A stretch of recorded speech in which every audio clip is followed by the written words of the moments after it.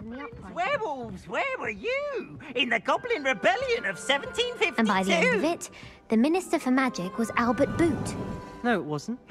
Oh, what fun! I won't say my goodbyes. I shall cheer for the boy who says you're telling lies. I'm not telling lies, Peeves.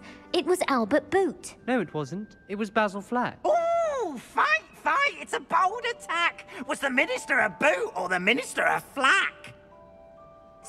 Peeves. You'll get us in trouble. In trouble you will be, but you can't give Peeves a smack. She says it's a boot, and he says it's a flack. Peeves, enough.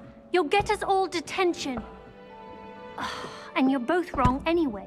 It was Hephaestus Gore. It wasn't Boots and it wasn't Flack, but you're all in trouble with Professor Black.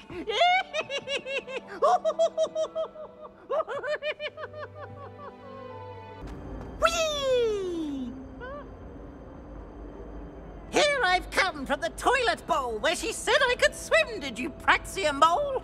As long as 'twere only one time per week, I can plunge the boy's lavatory, not for the meek. Please, Peeves, you'll make me neat. He tried to stop me, did Rancorous Carpe, sought to trap me, confine me inside of a jar.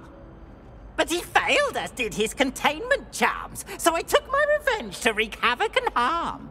It was granted my privileges be handsome indeed, or I'd fire up the cannon, and so she agreed. To draw up a contract with her, not with him, that if I behaved, I'd have one weekly swim. Whee! I'll get you for this. Who have we here?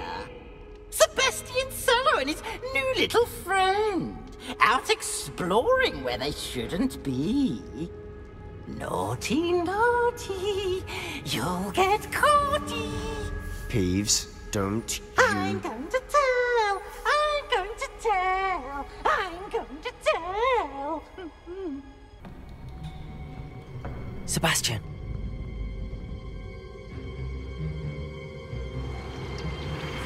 Sneaking in the restricted section again! I had thought we were through with this mischief. Clearly, detentions are insufficient. I'm afraid I must take this to the headmaster.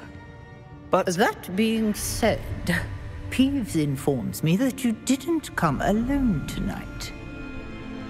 If someone has coerced you, I would have you tell me. You're a bright boy. Don't waste this. There was nobody else. I came alone.